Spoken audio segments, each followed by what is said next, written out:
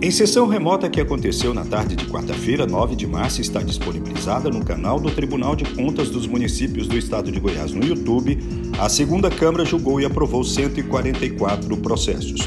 Foram apreciados balancetes, aposentadorias, concessões de pensões e admissões de servidores. A sessão foi presidida pelo conselheiro Valcenor Braz.